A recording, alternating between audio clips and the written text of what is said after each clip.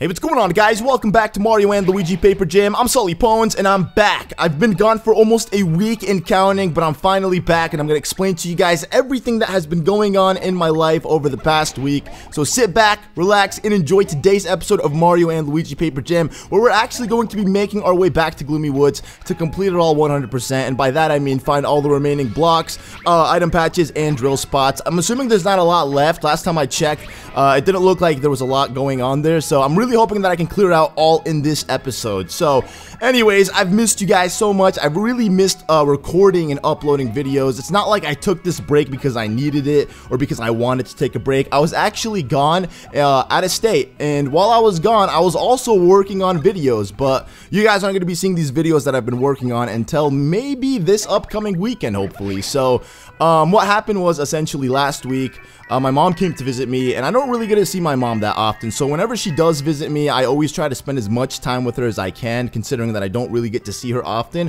which is why, like, whenever she's here, I don't record. Uh, but she was here, and then uh, she stayed until Thursday night, that's when she left, and then Friday morning, early in the morning, I woke up, I, uh, showered, got ready, whatever, you know, and then I drove to the airport with Munching Orange and Zelda Master, and then we flew out to Orlando. And the reason we flew out to Orlando was because our fourth roommate, Purple Rodri, actually used to live there, and uh, he flew back out to Orlando to get the remaining uh, things, his remaining uh, belongings from there, as well as his car. So we told him that we'd fly out and help him road trip, considering that the drive from Orlando to Chicago was like I think 18 hours or something, uh, and we didn't want him driving it by himself. Plus, we thought it would be a good idea, you know, take a road trip and vlog, and that's exactly what I did. I vlogged the entire time that I was there. I vlogged us, and I vlogged what we were doing, and I vlogged, you know, the, the actual road trip. It was really, really cool, and, uh, I'm very excited about this, guys. I'm very excited to share all of these things with you. So, uh, for those of you wondering uh, why I didn't upload throughout the last week, it's not because I didn't want to. It's honestly because I was just really busy. And even then, I was working on things for you guys that you guys will be seeing very, very soon. So, um, thank you all so much for being patient with me. Uh, I really, really appreciate that. I don't even know why I'm talking to this guy. He's telling me to look in his drawer because he wants to give me something for finding him, I guess, because he's a good toad and he wants to be a very good host. So, he's going to make me take his whatever it is in here. What is it? Let's see. It's going to be a bros ring. All right. I just I was really intrigued to see what was up here, which is why I came up here, but doesn't look like there's any blocks or anything important here at all. But anyways, we're going to go ahead and explore Gloomy Woods for you guys and uh Hopefully, I won't have any troubles finding these drill spots. I don't even know where to begin looking. This place is absolutely huge. Like, in this game, uh, we had to visit it twice, and then there were two different sections. This is the second section that we visited uh, for the second time, or I guess this is the second time we're visiting it. Look at it. I haven't even, like, explored this area thoroughly. I remember as soon as we got here and I had to like do those boo missions where I was like timed to do them, I instantly just did them all without even bothering to explore these areas. So, um, uh-oh, jeez. Oh gosh, I completely forgot how many boos there are here. These guys are probably going to want to battle. But there is no way in heck I'm going to battle these guys because unfortunately the boos in this game are all paper boos so when you battle them it makes it very tedious considering that you can't just kill them in one hit. Because when you attack a, an enemy for example that's a paper enemy and they have like copy versions of themselves uh, you don't actually kill them all right away. You kill their copies first and then you kill the enemy. So it could take up to like six turns or I mean three turns in total to actually kill a paper monster. So I'm going to avoid these guys for now. I don't really need to battle them. It's not like I need the XP or anything from these guys in particularly. But I do need the XP because I think I'm like level 9. I didn't, I didn't level up at all since the last time you guys saw me play this game. Uh, but yeah, I hope you guys understand and now you guys know exactly what has been going on in my life. Uh, there's a lot of big things that are going to happen this year in regards to my channel and a lot of content that I cannot wait to share with you guys that's ready to go. And honestly, like things will just this weekend, guys. Like seriously, if you guys keep an eye out on my channel this weekend, like everything will make sense. All these breaks and absence, everything will make sense. So just seriously, Saturday, I want you guys to keep a very close eye out on my channel, uh, and maybe even Friday night because I could maybe say or tell you guys a little bit of what I've been working on. I don't know. We'll see. We'll see how uh, how things are going. But um, yeah, Saturday. Keep an eye out on my channel, guys. Uh, but anyways, I can't seem to find anything here, so I'm gonna go ahead and look up this place. Yep, there's a block. Um, usually, like, whenever I find, like, a, a piece of, uh, terrain that's really high, I just assume that there's a block up there. Um, but that gave me a hammer. I don't even know if I'm going to use these items at all. So I'm kind of like wasting my time going around and doing it, but I just really want to see this game completed 100% in every single way. I want to turn it on and see 100% in paper toads, 100% in blocks, 100% in drill spots, 100% in item patches, and that's what we're going to do. And more coins. By the time I actually finish playing this game, I'm going to be filthy rich. Like, I have so many coins as it is, and I bought like the best items in the game, I believe. At least I think I did. I don't know. Maybe they update the items every here and there. I actually haven't checked the items in this game after I defeated Bowser. Um, and the game actually saved after I beat Bowser. So it could, in fact, be different. Like, at least stores um, in this game. And before you guys start screaming at me about the drill spots, I know I see them. I just want to make sure that I grab all the blocks first in the area before I start collecting drill spots.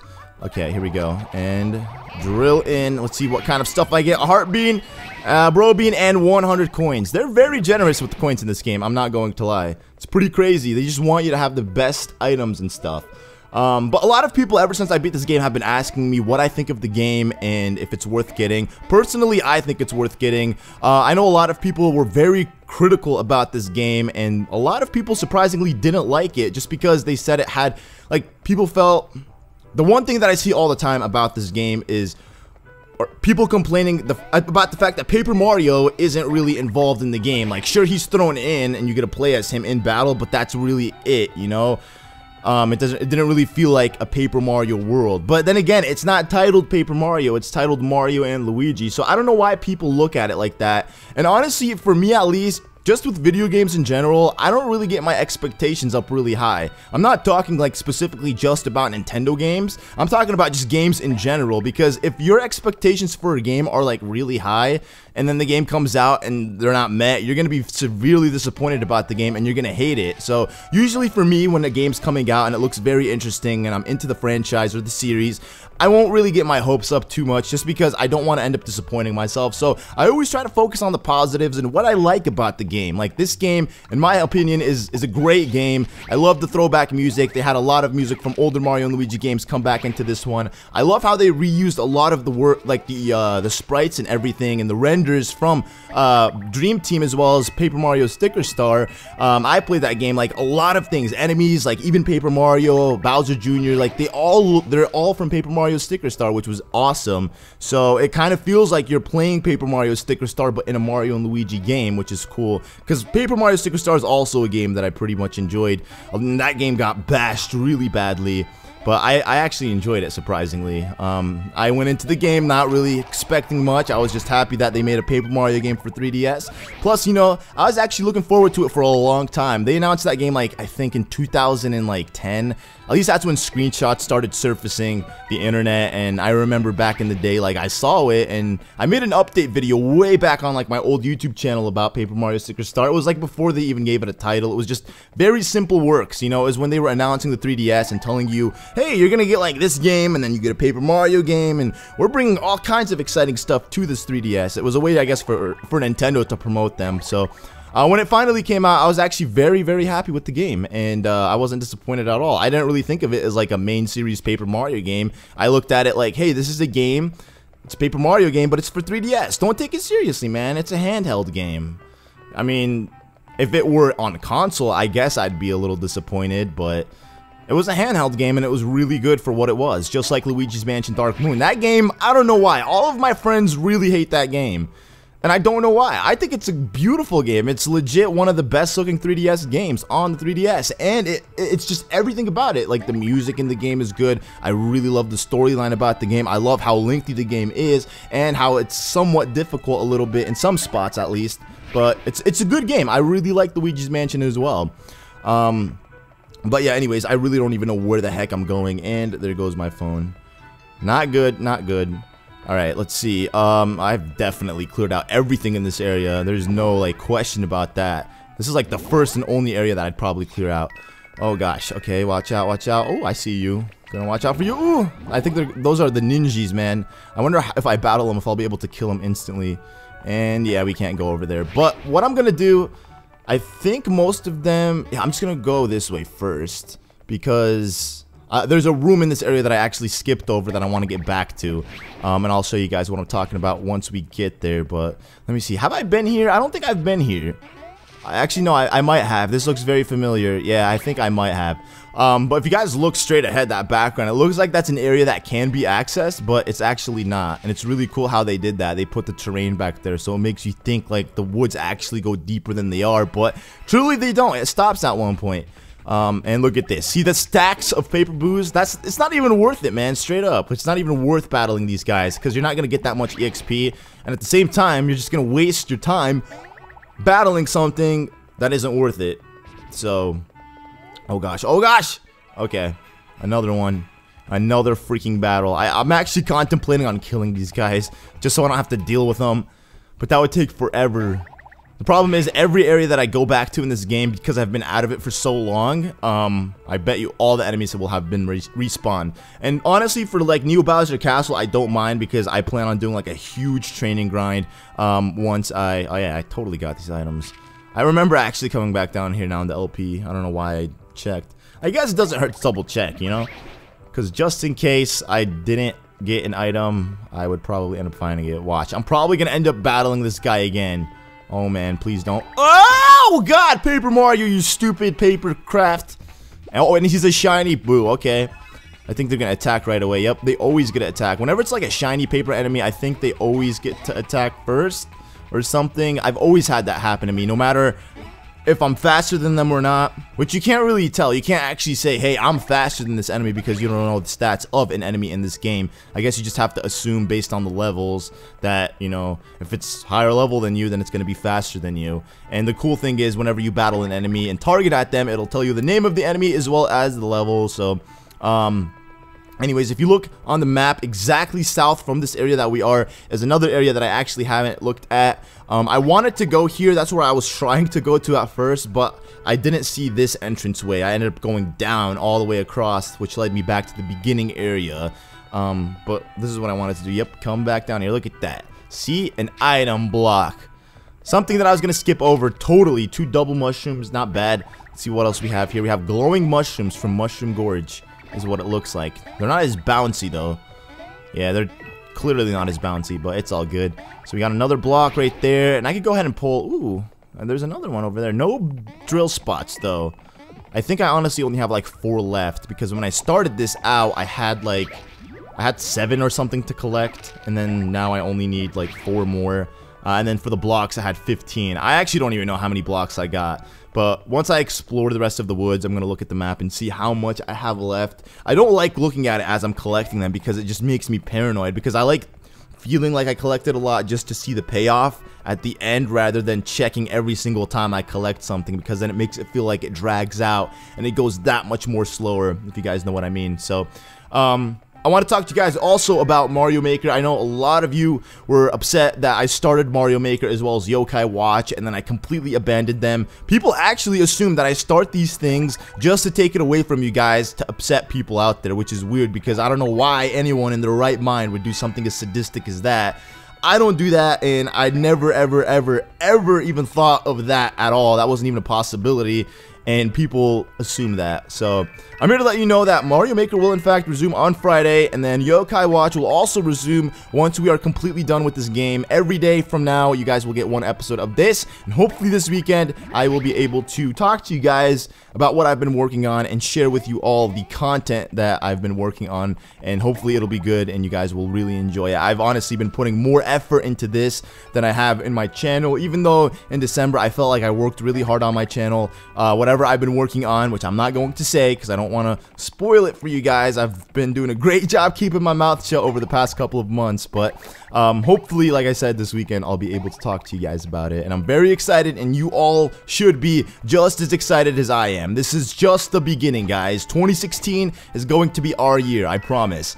Um, but yeah, this place is really weird. I don't like being here because of all the piranha plants. They kind of weird me out. I don't want to get into battle with them. That and the fact that there's just like black gunk everywhere. It's not cool, man. But uh, anyways, actually what I'm going to do here is I'm going to just go all the way across because I still feel like I need to explore the areas up north.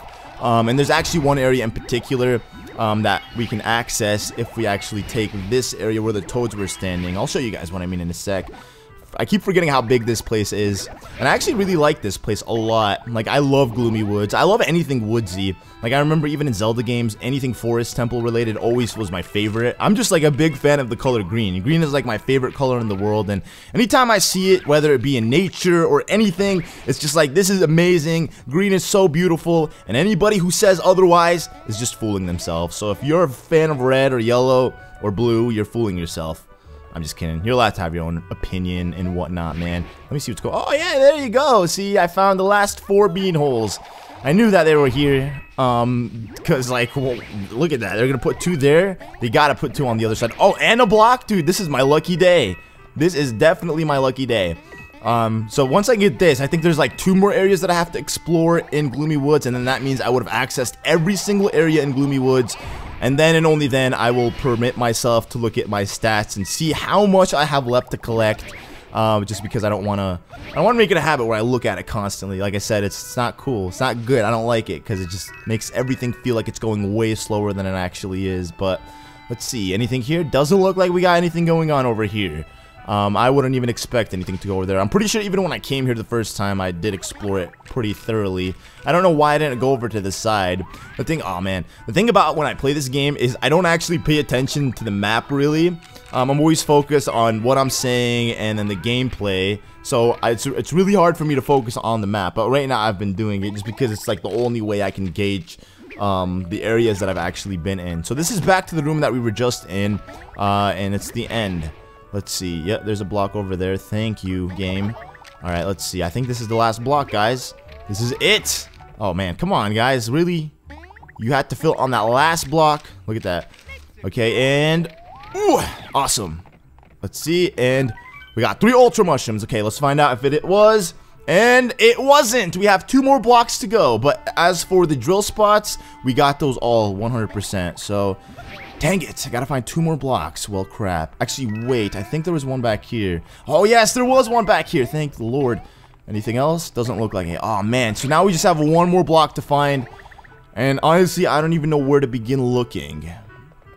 Uh, let's see. Oh my gosh, there it is, the final block, guys. Thankfully, it didn't take me that long to find it. It was in the same exact room. Wow, that's pretty crazy. It's these piranha plants, man. Like honestly, they're the reason why I don't like. I didn't really try to explore everything thoroughly just because I don't want to battle them. There's so many of them, man. So freaking many of these guys. But I honestly think we found all the blocks, uh, item spots, and drill spots. Let's go ahead and see. Uh, yep, 56. Oh my gosh, we did it. Look at that. Everything is done. But anyways, guys, that is going to be it for this episode. Thank you all so much for watching, and I'll see you guys tomorrow for the next episode. Goodbye. Música